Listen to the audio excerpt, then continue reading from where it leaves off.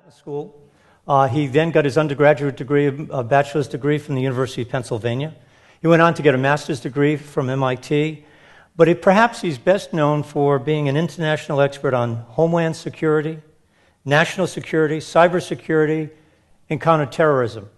20 years ago, that perhaps was not a big thing, but today it is the number one topic throughout the country and throughout the world. He's an on air consultant for ABC News constantly. He has taught at the Harvard's uh, Kennedy School of Government, uh, and he's been recognized by Foreign Policy magazine as one of the top global thinkers of 2010. Perhaps, though, one of his most interesting and I think shows a lot of durability and determination. He spent 19 years in the Pentagon, intelligence community, and the State Department, and 10 consecutive years working for three different presidents in the White House. That's very, very unusual. The normal term of office is around 27 months for an ambassador, or a secretary, or anybody who is a confirmed person within the White House. He spent 10 consecutive years working for a Democrat and two Republicans in the White House. He's written two books. The first one, Against All Enemies Inside America's War on Terror What Really Happened. And his most recent book, in which you must read, is Cyber War, the first book really written about the war of the future. It's our normal practice for our speakers to receive an honorarium. Uh, but Dick decided not to accept the honorarium. He asked that the honorarium be given back and help the students within the honors colloquium and the honors program. So, will you please welcome a great man, a great patriot, a great American, Dick Clarke.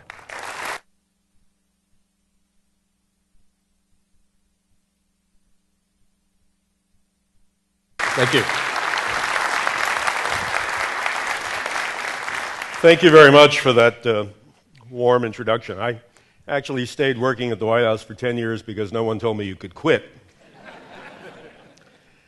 Uh, but then one day, George Bush decided to invade Iraq, and I thought, probably was time to quit. The topic tonight is cyberspace. And it's a little challenging to talk to an audience like this about cyberspace because some of you have PhDs in information science. And admit it, some of you can barely turn on your computer. So, for those of you who can barely turn on your computer, forgive me if I get a little geeky. And for those of you with the PhDs in information science, I will say up front, you know a lot more than I do. But what I want to do is try to explain what's been going on for the last couple of years. I think it's really two years that things have been a little different in cyberspace. And to say what that means for you as an individual here in Rhode Island, uh, and where all this is going in the future. Uh, and that's the the iffy part. But if you, if you just listen to the TV news, and I'm part of that, I know, uh, or you read the newspaper, you've seen all year long stories of major organizations getting hacked, or as the press likes to call it, attacked uh, in cyberspace. And they're big companies Citibank, Lockheed Martin, Sony, Sony got hacked three times, and it admits it cost them over $170 million to repair the damages. So these are not small organizations. The Defense Department, the Defense Department's classified network, uh, the French Finance Ministry, the German Chancellor, the Australian Prime Minister. I mean, it goes on and on. And when you hear about it in the press, it's all kind of mushed up together. That hackers are doing attacks well, let me try to disaggregate that a little, because I really think there are four different things going on. And for us to understand what's happening malevolently in cyberspace, I think we really need to break it down. So, at the risk of being a little um, pedantic here, let me define four different things. I hate PowerPoint, and so there's no PowerPoint tonight.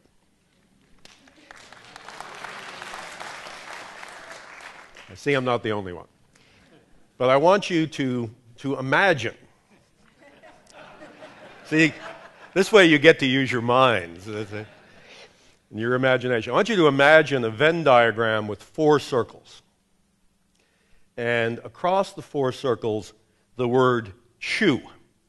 C H E W. And that's the first letter of the four things that I think are going on. The first is crime crime in cyberspace. It's been going on for a very long time, and what it has been so far, until recently, uh, is people stealing money by getting your credit card number. And sometimes they hack into credit card processing companies and they get a million, 10 million credit card numbers at a whack. Sometimes uh, they'll hack into one company or they'll hack your particular identity and get your card. Uh, and that's pretty much what it's been for the last 10 years. And it hasn't been all that bad for you as an individual. How many of you have had your credit card number stolen? Yeah, all right. Half the audience. And has it cost any one of you a penny? No. At least you don't think so, right? Because the bank has always said when you complained that you really weren't in Shanghai that day, the bank has already always said, yeah, well, we believe you and you don't have to pay. Well, the banks lose money by doing that. They're losing a lot of money by doing that. And banks have this tricky way of getting their money back. and so while they're not making you pay for the stuff that you didn't buy in Shanghai that day, uh, you may have noticed that you're paying all sorts of other fees that you weren't paying before on your debit card and on your checking account, and every time you want to do anything at all on your ATM machine. You know, the funny thing about fees on your ATM machine is it actually is in the bank's interest for you to use the ATM machine. Because if you go into the bank and do the transaction with a teller in a brick and mortar building, it costs them about seven or eight bucks to do a transaction. And if you do that tr- same transaction at an ATM machine, it costs them between 10 cents and 25 cents. But they charge you two or three dollars. So they are kind of making up for the losses uh, in the credit cards. But cybercrime has now gone beyond simply stealing identities and stealing credit cards. Now, what's happening is people are hacking into companies, including medium sized companies, and taking over the identity of the comptroller or the treasurer of the company. And then they make themselves the recipient of accounts payable. In other words, they become a vendor to the company, and they write themselves a check for $150,000, $250,000, which they then wire to themselves. And this all happens at night, and the treasurer or the comptroller of the company comes in in the morning and may or may not notice that an account payable has been paid and the $250,000 has gone to a bank account in the Cayman Islands. This was happening a great deal in the last two years, and the FBI was able to bust a group that was doing it. The FBI gave this case name Coreflood. Now, I'm going to be using FBI case names throughout. The FBI has this cute little habit of giving cases names so they can remember them. So this one is Coreflood. And the money was all going to bank accounts in the Cayman Islands and staying in those accounts for less than a minute. As soon as it hit the bank account in the Cayman Islands, it would be wire transferred to an account in Romania, and from Romania to Russia, and from Russia to Belarus, and from Belarus to the Ukraine, and eventually people would lose the trace. But it's not just credit cards, it's stealing money in every way imaginable online. And you say, well, that's okay as long as I'm not the person who's being hit. Well, it's not, because all of this money adds up. In fact, according to the U.S. Treasury Department, all of these organized crime groups that are stealing money online now make more money than the drug cartels. Now, we all know the drug cartels are making billions of dollars on cocaine and, and heroin, now, for the first time in the last couple of years, their revenue, total revenue of drug cartels in the world, has been outpaced by the revenue from the cyber gangs, the cyber criminals. Now, they don't have body bags on the roadside in Mexico. You know, they don't shoot it out in Tijuana the, the way the drug cartels do. So they don't get the same amount of attention in the media. But this is billions of dollars.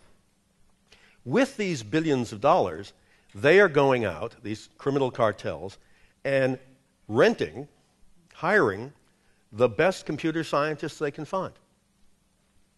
And so they now have extremely sophisticated techniques of hacking into computer systems in order to steal money. Why can't we arrest them? It's not because the FBI doesn't do a good job. It's not because the Secret Service doesn't do a good job, because both FBI and Secret Service investigate these crimes in cyberspace. It's because when they do their computer forensics, and by the way, some of the best computer forensic experts in the country are here at URI. When they do the computer forensics and find out how the attack occurred and where the attack occurred, and you start tracing back the source of the attack, they're always pretending to be somebody else and they're always trying to hide their tracks. But when you follow them all the way back, they end up in Russia or the other countries that used to be the Soviet Union Belarus, Ukraine, other East European countries like Romania. And when the FBI goes to those countries and says, hey, we need your help tracing this robbery, this theft, this criminal gang, well, the local police are always very helpful to the criminals. Now, I know I'm cynical and jaded because I've lived in Washington a long time. But I suspect that maybe some of those police in Russia and the Ukraine and Belarus and Romania, maybe they get a little Christmas present from these cyber criminals. Maybe they have an understanding with some of these cyber criminals. The head of the uh, Romanian intelligence service was at one of our classes at Harvard, and we were talking about this, and he said, Yeah, you know, you're absolutely right. You cannot trust these cyber criminals. I had a deal with them that they would never hack in Romania.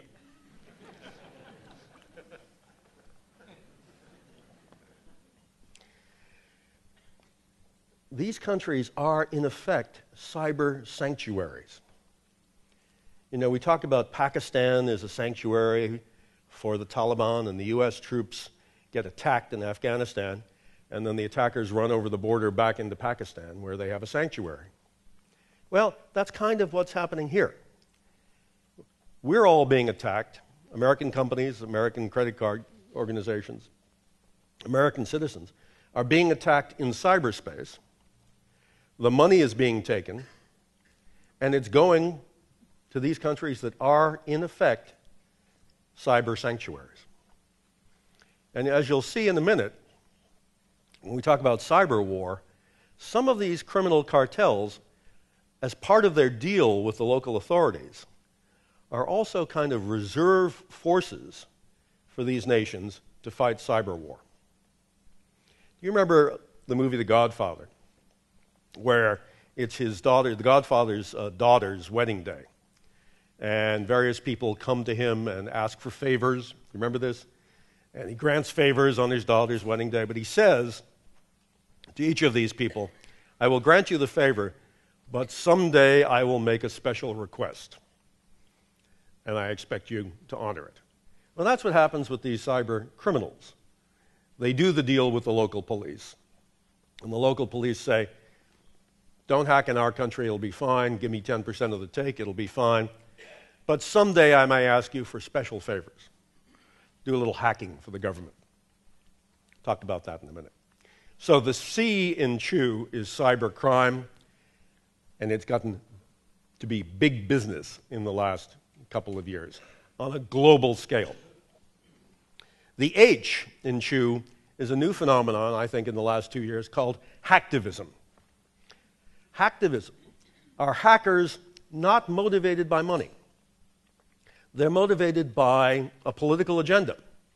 Uh, and maybe that agenda is, in the case of WikiLeaks, uh, they believe that there should not, not be secrets, that the government should not have secrets. Now, in general, you know, I believe in open government too, but there have to be some secrets.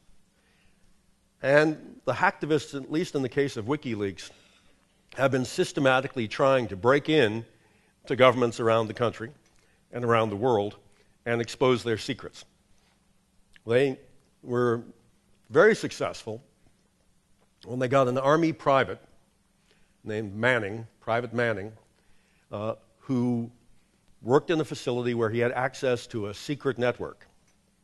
And every day he would go to work carrying a couple of blank CDs. And his sergeant asked him one day, What are you doing with these blank CDs all the time? And he said, Well, a lot of my friends like Lady Gaga. And every day I copy my Lady Gaga songs onto a CD for my friends. I'm just copying music. And his sergeant said, Oh, yeah, okay, fine. What he was doing was every day he was going on the secret Pentagon network and downloading tens of thousands of secret documents. Overall, we think he downloaded 450,000 secret documents. And then he gave them to WikiLeaks that put them online in order to advance their political agenda that there shouldn't be secrets. Well, some of those secrets were things we were doing to go after Al Qaeda. And governments that were cooperating with us around the world to go after Al Qaeda. And those governments aren't cooperating with us anymore because they got caught out, they got embarrassed, they had lied to their people. And now it's a little bit more difficult to do that counterterrorism work because governments don't believe that if they talk to the United States anymore, the United States can keep a secret.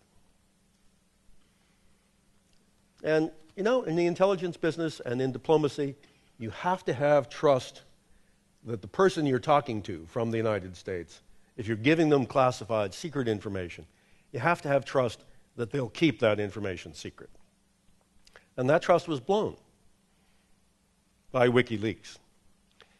There are other hacktivist groups, groups that have great motivation, that are pro environment, against pollution, uh, and other similar causes, and they hack their way into companies and get their records and put them online. So, hacktivism is a new phenomenon. It's not crime, although it technically violates the law.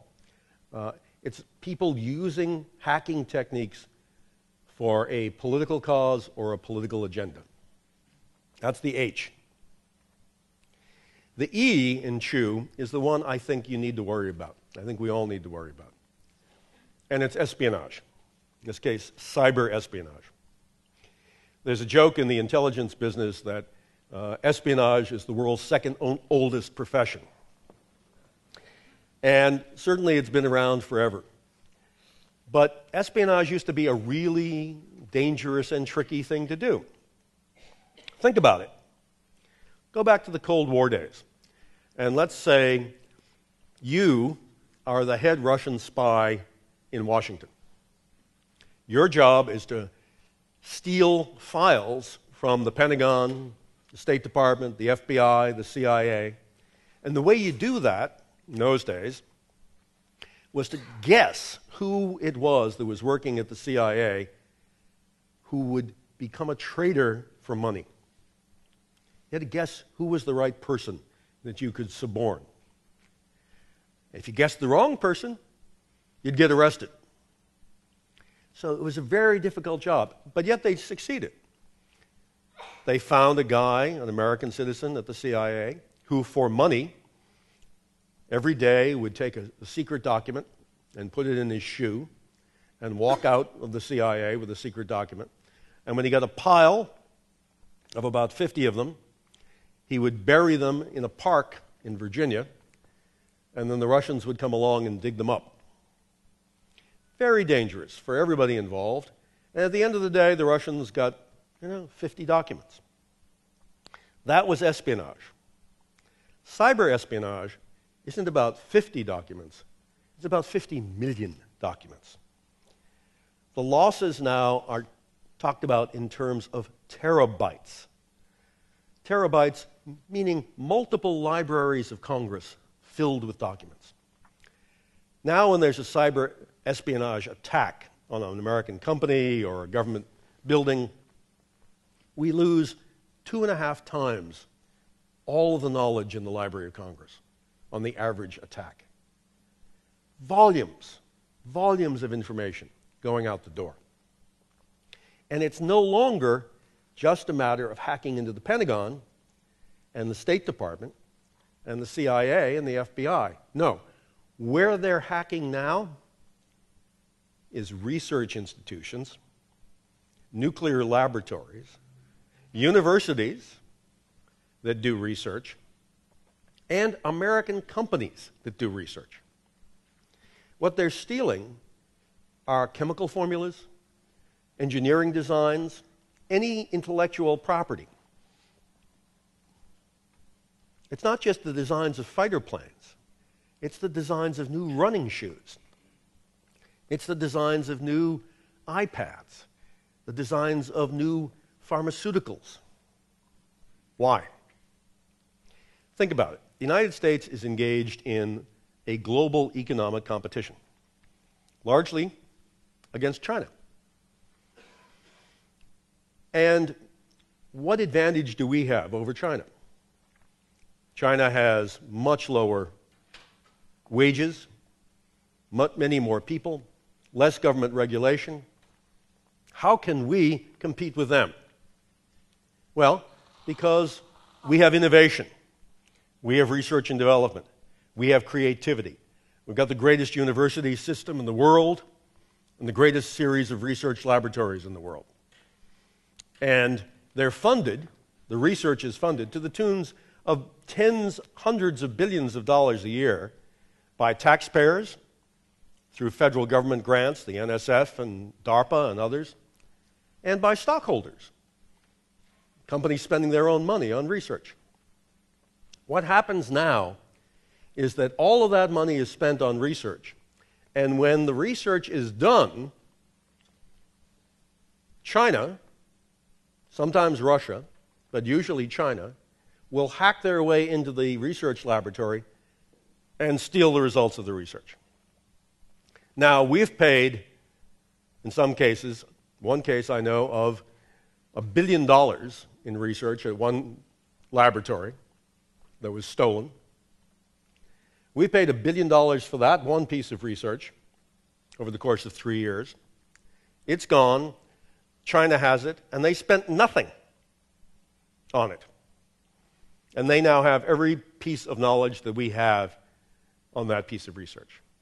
And then they go out and they produce a product. Frequently, they produce the product before we produce the product. And they certainly produce it at a lower price. You wonder why we have 9% unemployment? It's because so many jobs are moving to China, not be- just because American factories are moving to China but because China is stealing American intellectual property by the libraries of Congress full and sending it over there and giving it to their own companies. Now, when I talk about espionage, people usually say to me in the question period, well, doesn't the United States engage in espionage too? You betcha. We do. But we do not steal from private companies abroad and turn around and give it to American companies here. We don't. You know, it might be a great idea. Maybe we should, you know, hack our way into the European Airbus company and steal the designs for the A380 and give it to Boeing. See if they can make one. But we don't do that. It's in violation of all the international agreements on international trade.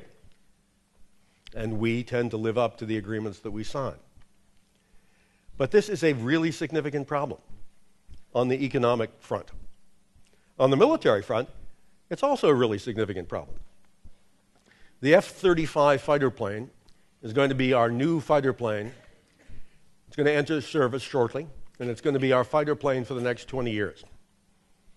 Before it was ever in service, the design for the F 35 was hacked and stolen, probably by China. Now, what does that mean? They're going to go off and build F 35s? Well, yeah, it might mean that. But it might mean also that if we ever get into a war in the future, that the enemies around the world will know how our weapons work. And worse yet, they may have put things into the software of our weapons so that when we try to go to battle, the weapons don't work. If you can imagine the United States military trotting out onto the battlefield thinking it has technological superiority, and then the things don't work. We know the Pentagon's secret network was compromised. And we know how it was done, and we know who did it. The Russian Secret Service bought a bunch of thumb drives, you know, those little flash drives that you put in your USB part of your computer, and they scattered them around outside of army bases, thinking that eventually someone someone in the US Army would pick one up and use it on their home computer, and then take it from their home computer to a classified network, and then back again. And that happened. We don't know how many times it happened, but it happened enough that it allowed the Russians to penetrate the Pentagon's secret level network. So when you leave here tonight and you see those flash drives in the parking lot, might want to leave them on the ground. So defending our cyberspace has become a big business, and there are a lot of American companies that make money just by selling cybersecurity. One of them is a company in Massachusetts, not far from here, called RSA. RSA makes a little token that has a random number generator on it. Anybody ever use one of these RSA tokens? So here's how it works. You log in with your username and your password, but that can be hacked.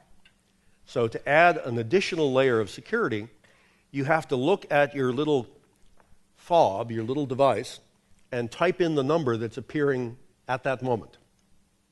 And the number is eight digits, and it changes every minute. And back at the central office, they know what number should be appearing for you at that time. So it's a really sophisticated piece of math, and it really improves security. And hackers were trying to get in to some companies, like the big aerospace company Lockheed Martin. And they couldn't get in because they were using this RSA token, this additional layer of security. So, what do you do if you're a hacker and you can't get in because the RSA token is there? You hack RSA. What happened earlier this year was that a lot of people working at RSA got an email from a woman who was working in HR at RSA. They used the real name of a real person in the HR department. That's what it looked like on the from line. And then they sent it to all sorts of people at RSA, and they got their names and their emails online from Facebook, from LinkedIn, from Plaxo, from all of these places, social media sites where people say, I work for RSA. Okay.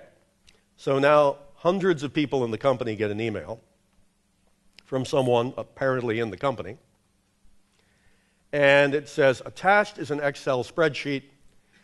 Uh, it has the plans for something or other. Uh, I need your comments by the end of the week. Click. Well, if you clicked it, and who wouldn't, it launched an attack on the entire network. What did the, it's a very smart little thing that was launched.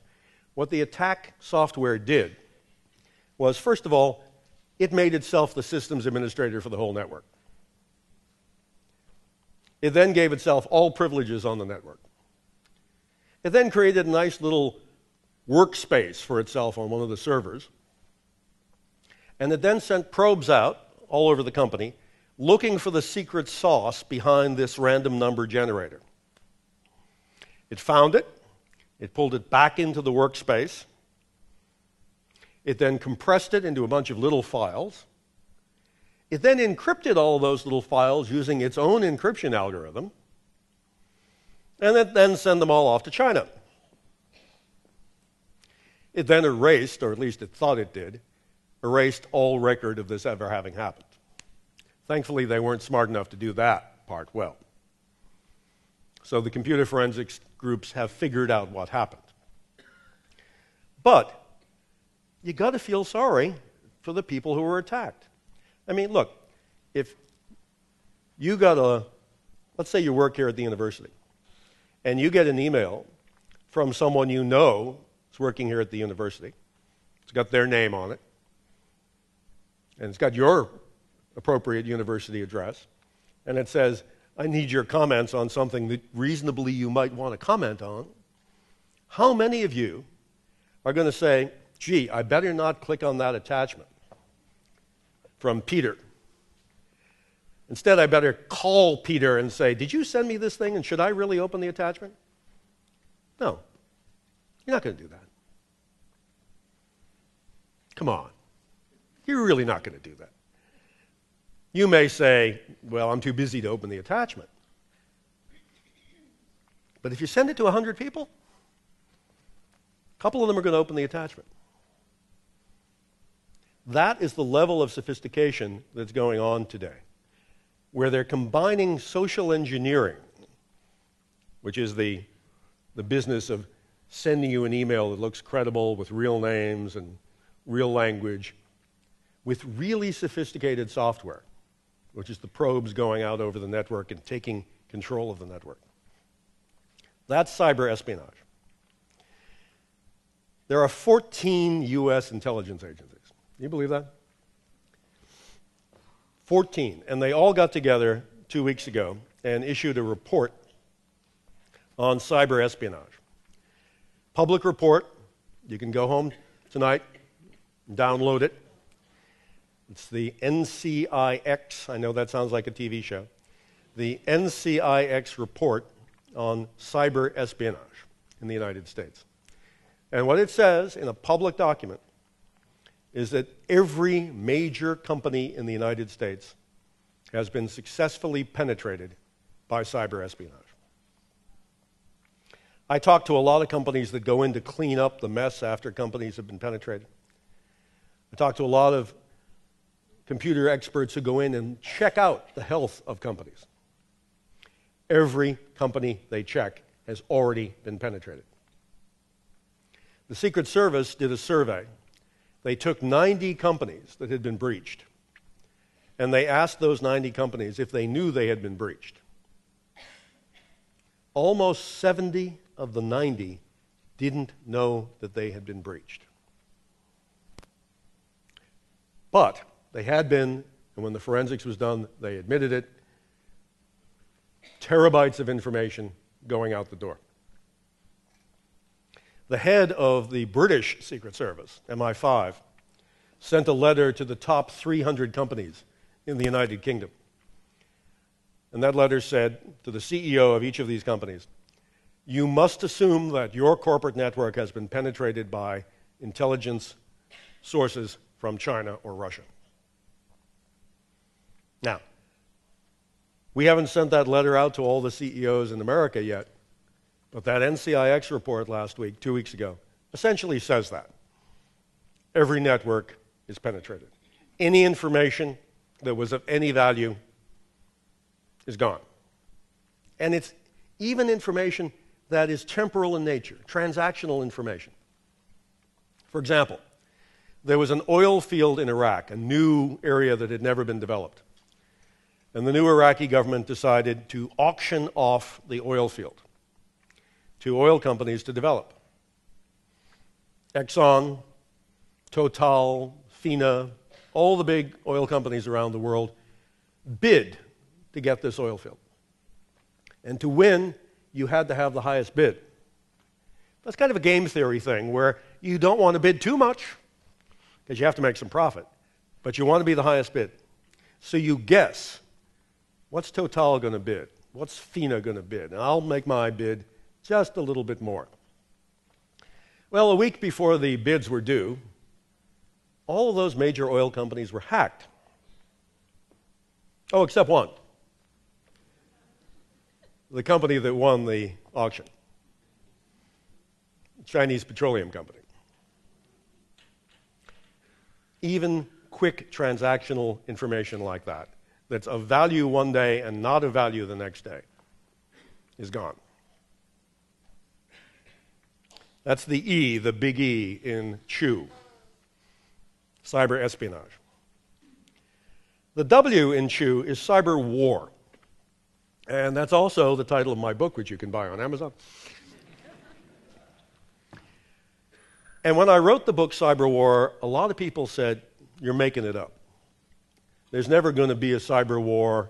It's all fiction. You're exaggerating. So, let me talk about a few things that have happened since we published the book Cyber War.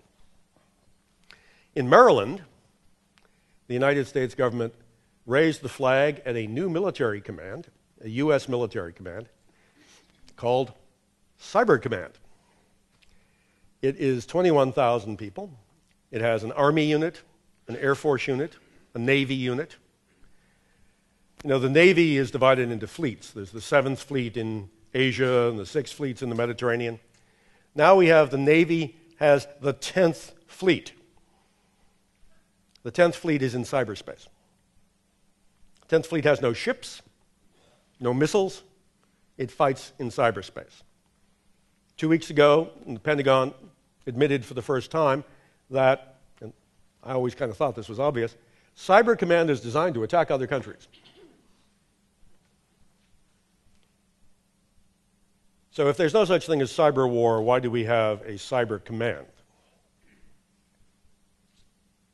What is cyber war? What happens? A lot of people think they, they saw that movie, The Matrix, several years ago with the ones and zeros and the, and the green numbers floating in the air.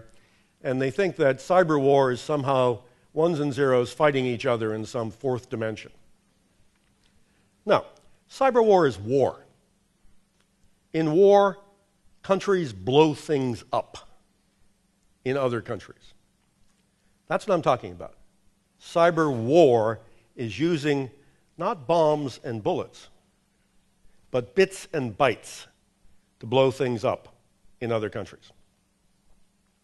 To prove that you could do this, several years ago, we took a, an electric generator, one of those big power generators that's on the electric grid, and in Idaho. And we hooked it up to a pretend network of an electric power company. And we had some hackers without any help, without any inside information, hack their way into the electric power company, public website, from the public website into the internal network of the electric power company, and then look around to find the path over to the control network for the generator. Then they gave the generator commands to spin at the wrong speed. All generators in this country spin at 60 hertz. If you're spinning at any other speed and you plug the generator into the grid, it'll explode. It'll jump right off its stanchions, it'll give out smoke, it'll fly apart. And if you don't believe me, you can go to YouTube and watch this happening.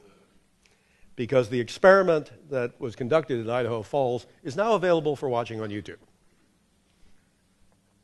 And you see the generator literally falling apart not because of a bomb or a bullet or a missile, but because of a cyber command. And people say, oh, okay, fine, that was an experiment, and that was done in a controlled environment. All right, let's take the Iranian nuclear program. See some people shaking their heads, they know what's coming here. I'm talking about a worm, and remember, all these worms have names. I don't know who gives them their names. This worm's named Stuxnet, S T U X N E T. The Iranians thought that we might attack their plant with a cyber attack. So they disconnected their nuclear enrichment plant at Natanz from cyberspace. There are no lines running into this plant, no cyber lines, no telephone lines, no way of getting in from the internet. And what's going on inside the plant is that they had 1,000 centrifuges.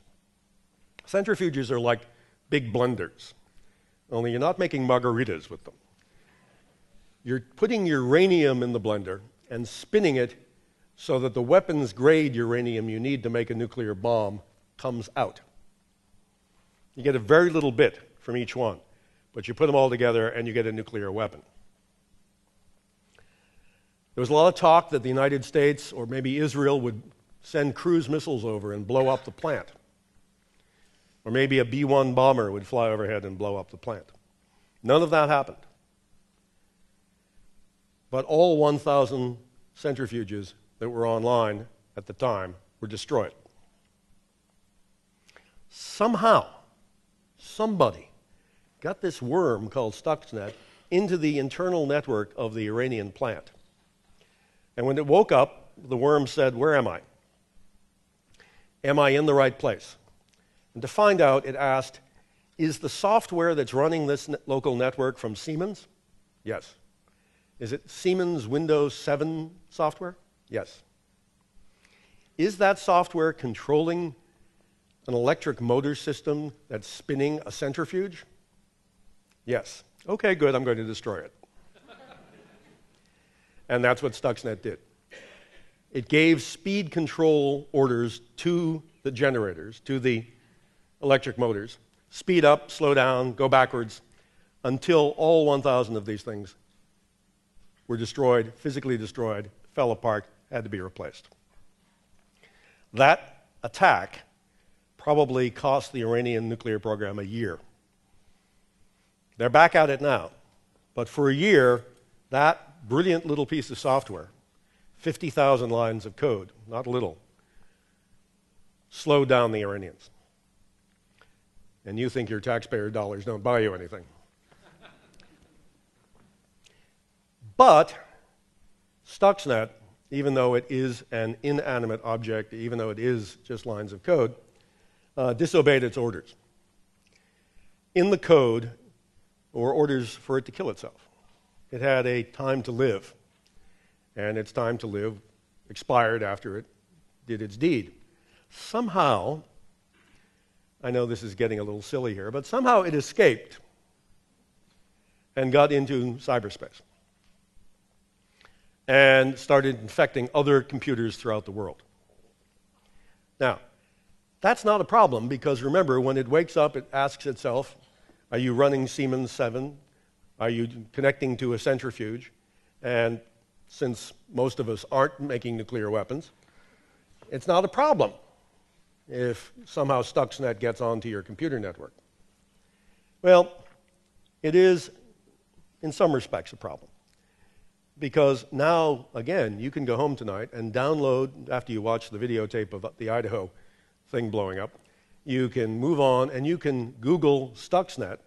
And if you're pretty good at it, you can find the actual code for Stuxnet and download it onto your computer. So you too will have the world's most sophisticated cyber attack weapon ever used available to you.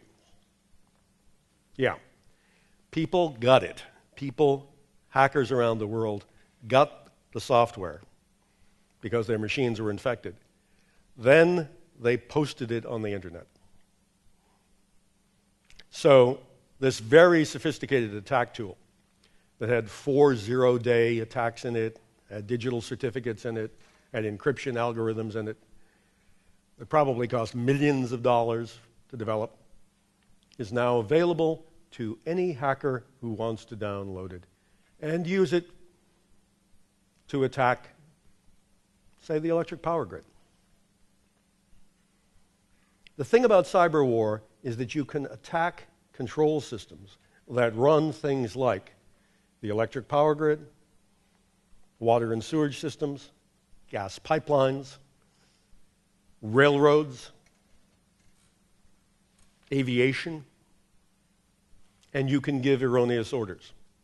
And the result of those erroneous orders is, if you do it right, that things blow up. That's why we have a cyber command.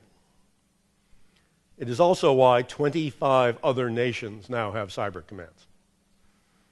So that in the future, if they want to attack us, they can do it in cyberspace. The Iranians don't have missiles that will reach here. But they do have bits and bytes that can reach here. Crazy regimes like North Korea could never attack the United States before. But they do. Even the North Koreans have cyber attack capability. So in the future, terrorist groups or nation states can use cyber weapons to attack. And they can use cyber weapons make it easier for their regular weapons to attack. In the opening pages of the book Cyber War, I describe an incident in which Israel decided to blow up a nuclear plant in Syria. Syria was secretly building nuclear weapons, and the Israelis decided to blow up the plant. The only problem was that Syria had tremendous air defense, radars and missiles, and the Israelis wondered how many airplanes they would lose flying into Syria to bomb this plant. Well, when the Israelis flew into Syria to bomb the plant, the Syrians, as they are all the time, were at the radar looking at the radar screens, and the radar screens were showing no airplanes. No airplanes in the sky. Sky is clear. If the Syrians had only opened the windows, they could have heard the Israeli F 15s flying overhead on the way to bomb the power plant.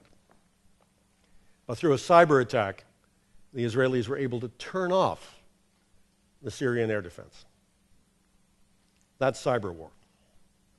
So that is, that's the future in cyberspace. More and more sophisticated crime, more hacktivist groups engaging in cyber attack, more cyber espionage, a more sophisticated cyber espionage, and eventually, perhaps, cyber war. So, what should we do about all that? How do we get from cyber war to cyber peace? How do we make cyberspace more secure again? I have some ideas. We need a lot more, and we need safer and better technology. But let me, let me quickly give you some ideas about what we might be able to do. For cyber crime, what we're proposing in the book is that we say to these cyber sanctuaries, here's the standard we want you to live up to. Here's the international standard of good behavior in cyberspace. And if you violate that, there will be, sanctuary, there will be sanctions. You don't, you don't have a right to connect to the United States. You don't have a right to connect to France or Germany.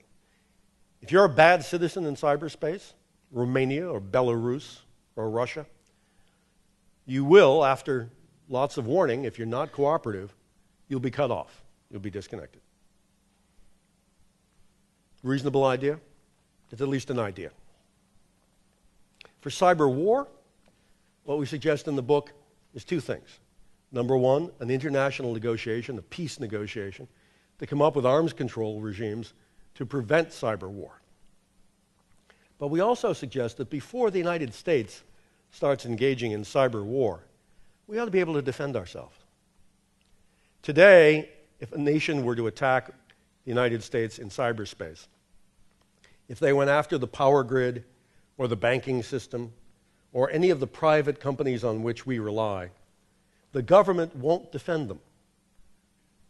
Under the current laws, the government won't defend them. That big cyber command we have, it's only instructed to defend the Pentagon. It's not instructed to defend Citibank. It's not instructed to defend the electric power grid.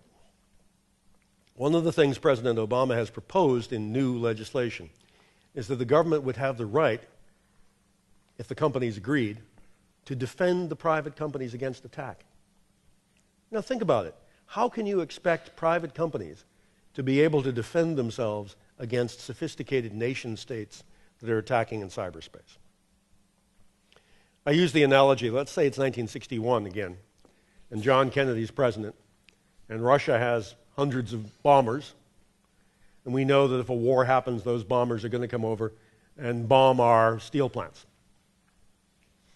Can you imagine Kennedy calling up the head of U.S. Steel in Pittsburgh and saying, you know, your plant may be a target for a future Russian attack with bombers. So you, U.S. Steel, you ought to go out and buy yourself some fighter planes. That's what the government is forced to say now under the current law. It's forced to say to the electric power companies and the train companies and the pipeline companies, you guys better do something to defend yourselves because you could be attacked. That's crazy.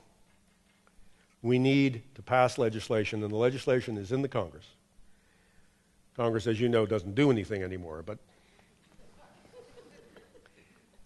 but someday they might decide to pass this legislation, which would allow the government to defend private companies that run critical infrastructure. Until then, I suggest that you obey the three laws of cybersecurity. And I trust you know what those are. No? All right. The three laws of cybersecurity, until we can fix it, are number one, don't have a computer. Okay, well, all right. Some of you need a computer.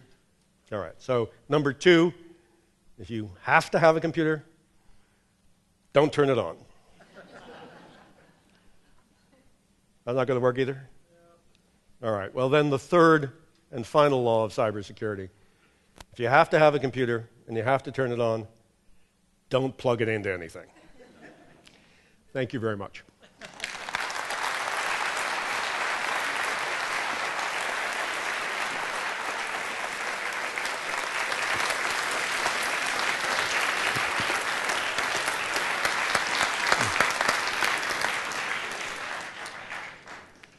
Thanks, Dick. That was great. Um, so you'll take a few questions? Please. Could the E in CHEW also apply to electronics, as in electronic voting systems? Well, from what I've been able to learn about electronic voting systems, they are like most of cyberspace, and that is hackable. Uh, I would feel very uncomfortable with any form of electronic voting that didn't have a paper backup. Uh, in other words, so that there should be some document that is created when you vote that you can identify personally with you and they can be counted. Uh, pure electronic voting, I think, is, a, is an invitation uh, for manipulation. Would that count as hacktivism? Uh, yeah, it would count as hacktivism. It uh, might also count as a felony if you get caught. um, okay. What will it take to escalate commercial cyber theft to a military conflict with a foreign country, perhaps China? That's very interesting. The Pentagon said this year for the first time that we reserve the right as a nation to use regular military force in response to a cyber attack. Now, that immediately got played wrong in the press, and the press said, Pentagon promises to bomb hackers. Not exactly what they said. What they said was if there is damage done to our nation as a result of cyber activity, and if that damage had been done, that level of damage had been done in some other way, like a bomb, we're not going to look at how it happened. We're not going to say, oh, it's just cyber, it's not a bomb. Uh, therefore, since it's only a cyber attack, we'll only respond with a cyber attack. What the Pentagon said was uh uh-uh. uh if you do serious damage to our country through a cyber attack, you could be looking at a missile coming down your chimney. We're not, we're not going to play by any rules that say just because it was a cyber attack, we have to respond with a cyber attack. And that, that is a big change, a public change in U.S. policy that just happened. Yeah, I guess that the question might be at what level would a commercial attack, a billion dollar theft, uh, does it take a $10 billion theft? Well, I, I, think, you know, if you attack the. There are three power grids in the United States the Eastern Interconnect, the Western Interconnect, and Texas. You don't have to make this stuff up. Um, I think if you attacked the commercial power grid, it's all private companies, if you attack the eastern power grid and took it down, that's attacking a commercial entity. Uh, if you threw the, the eastern half of the United States into, into a blackout, uh, and you could do it in a way, by the way, that you can't just go back and turn it back on. You can do it in a way that permanently damages the transformers and generators, and so the power grid's down hard for weeks or months. Uh, if that were done, even though the, the companies are private companies, I would consider that an attack on the United States. Hmm. Um, uh, actually, I want to follow this question a little bit further. Uh, suppose some pharmaceutical company develops a cancer drug mm-hmm. that works on all cancers, uh, and somebody else steals it. Well, you know, I don't know that that's an act of war. Right. Uh, it's, it's, an act certainly of economic espionage. Um, but for me, an act of war is destruction, damage, or disruption on a large scale. Uh, and the kind of things that could be done with bombs. Uh, that kind of destruction, damage, or disruption, I think, is war. Okay. Does domestic surveillance really make us more secure? Um, and how do you balance surveillance with individual privacy? Some domestic surveillance, I think, makes people more secure, and, and some is, is unproductive. And let me, let me distinguish what I mean. There's domestic surveillance that is putting cameras on street corners and putting up signs that say to everybody, there are cameras. It turns out, in a lot of instances, not in all cases, but in a lot of instances, that really drops crime. And I know in the case of Baltimore, uh, where they put these camera systems in downtown and crime dropped through the floor, that some of the lower class uh, neighborhoods nearby demanded cameras. And some of the housing projects, residents got together and demanded cameras. And the mayor uh, at the time was astonished that people wanted these cameras. And then he met with them and they said, Look, we know that crime goes down when there are cameras. And we have crime infested neighborhoods, and therefore we want the cameras. Uh, I think that's fine, uh, as long as everybody knows the cameras are there. What I don't think is fine is in there's a case before the Supreme Court now of surveillance where the FBI was putting transponders on cars and following the cars around with these transponders without a search warrant, without a court order. Uh, and I think that, that kind of violates my notion uh, of the constitutional requirement for a search warrant. Uh, I believe in surveillance is fine if you can convince a judge that there's probable cause. And I don't like the government doing things, wiretapping or putting transponders on cars if they haven't convinced a judge. How at risk is our mostly digital financial system? Well, of all the sectors of our economy, the financial services sector is probably the most secure because they've got the most to lose.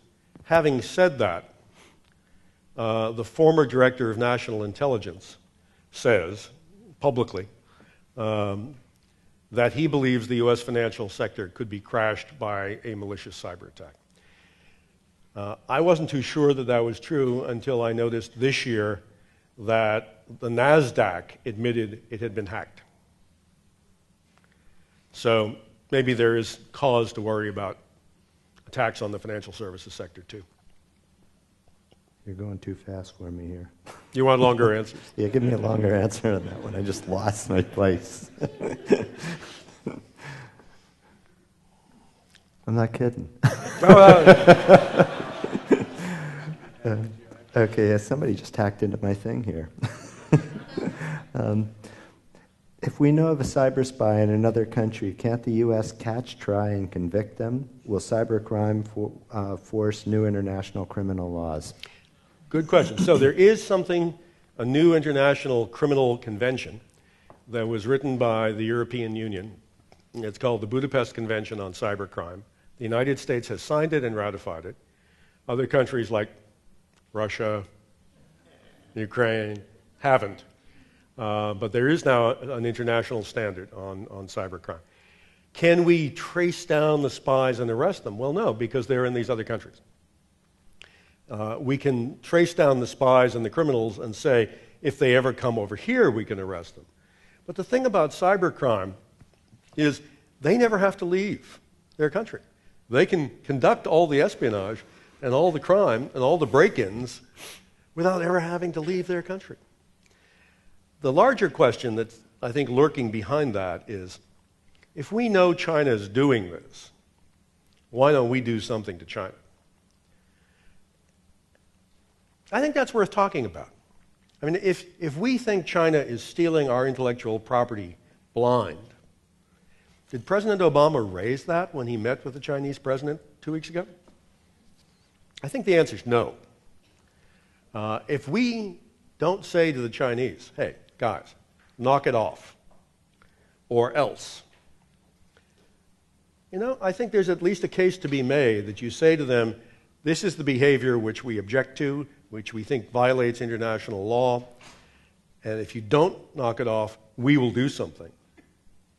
And then take out their computers that they're doing it. Now, here's why you may want to think about that because they could retaliate against us. And we at this moment cannot defend the United States. Think about that.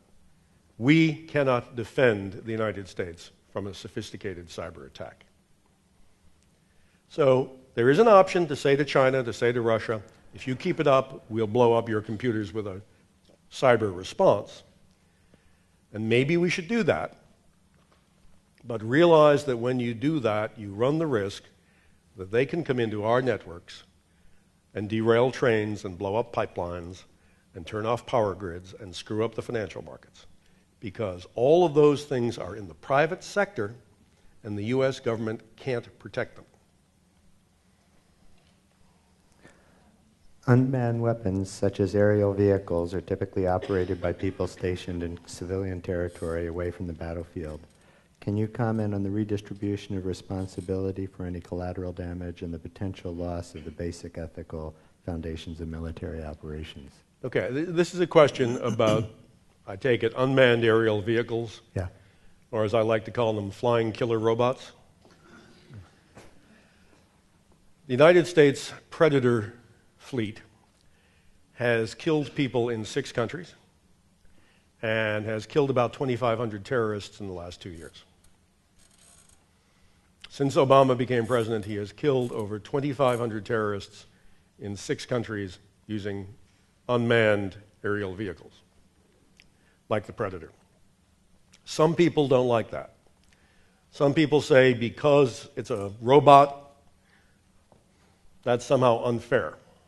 Um, I don't like being in a fair fight with terrorists. Uh, and I think if we, can, if we can use robot airplanes to kill them, that's fine. But we do, we do need some rules. We need to be very careful that we're actually going after terrorists and we know that they're terrorists. We have to be very clear and careful that we're not engaging in significant collateral damage and killing innocent people in the process. Uh, but frankly, I don't see why it's okay to have an American pilot in an F 16 fly overhead and drop a bomb on a terrorist camp, but it's somehow wrong to have an American sitting back in Nevada with a joystick do it from 10,000 miles away. Uh, frankly, I want that American back in Nevada where if the plane gets shot down, he can still go home and have dinner with his family. And I don't want him put at risk flying over Pakistan or Afghanistan. Uh, I think from intercepted communications of Al Qaeda and the documents that were found in bin Laden's house, among other things, we know that the damage done to Al Qaeda in the last two years by the Obama attacks using the Predator have virtually destroyed Al Qaeda. And I think that's a good thing.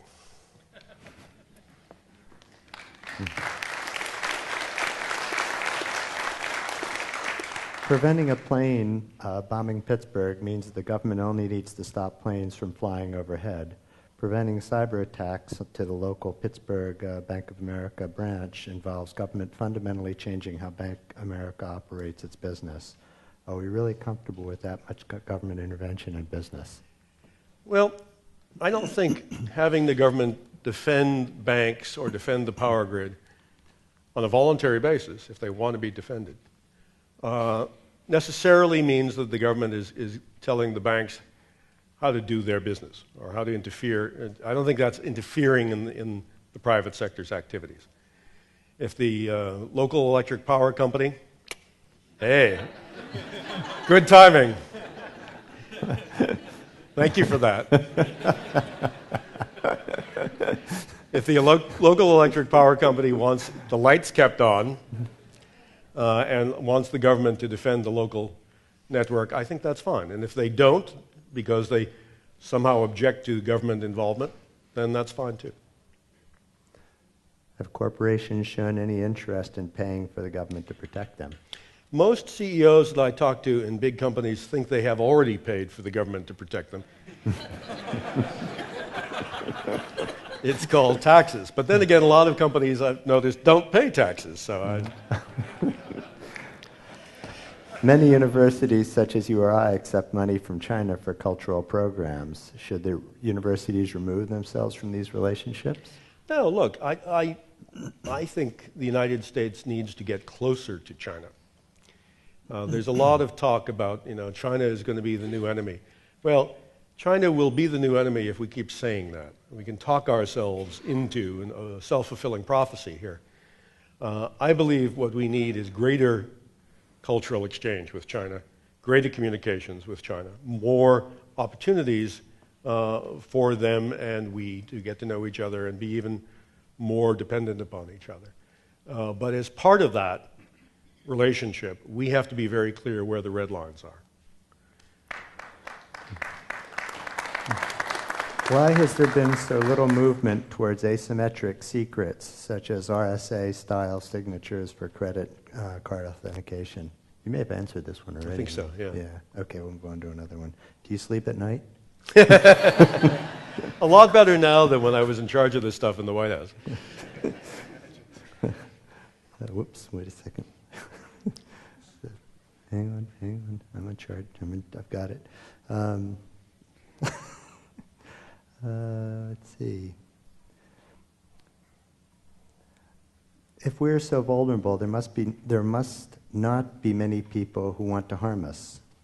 If we are so yeah, no, I get that question. Um, if if if I'm right, and all the other experts are right, who say that America is very vulnerable to cyber attack, why hasn't that attack taken place? Oh, right, got it. Good.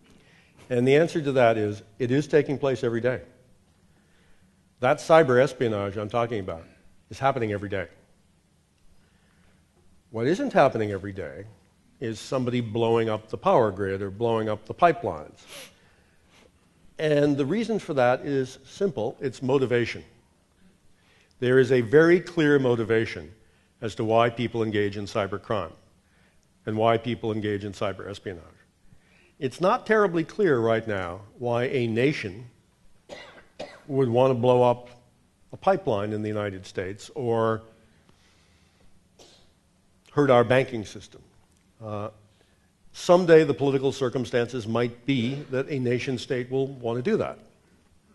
You know, there have been a lot of reports in the last month or two that things are blowing up in Iran. Apparently, pipelines and refineries in Iran have blown up at a rate this year five times normal.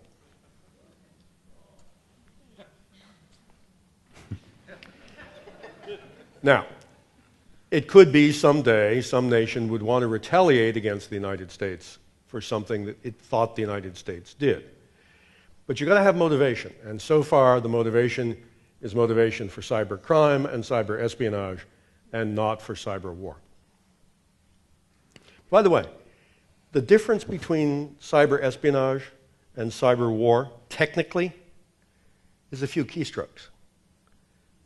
Because if you're in the network, if you can get in the network to do cyber espionage, if you have techniques that will get you into that network, it's just a few more keystrokes to give a network bum commands that will cause things to go poof. How do you stay current on these topics now that you're outside of the intelligence sector?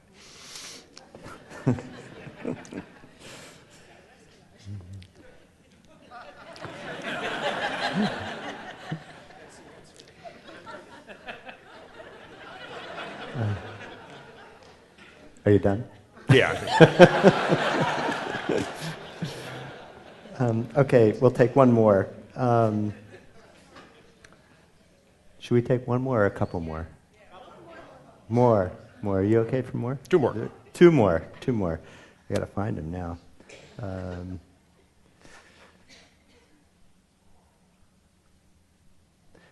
uh, this one's uh, that's a, that's boring. Do our do our cyber police ever have a chance of getting ahead of the increased complexity and scale of future attacks?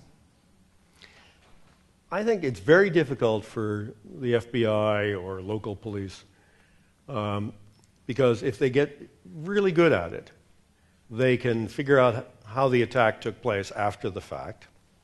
And if they get all the search warrants they need to search through servers and trace the attack as it bounces all the way across the country, they're ultimately going to find it ends up in a jurisdiction where they can't go. Uh, it's true there's some cybercrime that occurs in the United States and from the United States, but the big crime occurs from outside the country. And even if the FBI gets really great, uh, they're not going to be able to do much about that. That's why I think you need a diplomatic, a diplomatic solution. There's one question that normally comes up and it hasn't, and so I'll, if I may, I'll ask it. Is that the second one? That's the second one and that is uh, what should you do with your own computer? Use it. Don't worry about it. Uh, it's very, very difficult for you as a home user to stay current with your antivirus software, but you should try. To stay current with your um, system patches from Microsoft uh, or, or Apple, but you should try. But I don't want you going home tonight and saying to the neighbors, you know, I heard this scary guy talking about cybersecurity. And all that Christmas shopping that you were going to do online, you know, better drive to the mall. No. Um, the targets here, with a few exceptions, aren't you. Yeah, they may try to steal your identity and they may try to steal your credit card. But that, in the end, won't cause you a big problem individually. Uh, the targets are our companies, our laboratories, our research universities, uh, and our government institutions. And unfortunately, they turn out, for all the money that they spend trying to defend themselves, the attackers are so much better than the defenders right now that all those big institutions are about as vulnerable to attack as your home computer is. So don't worry about it. Go online, buy your Christmas goods online, and have a great Christmas.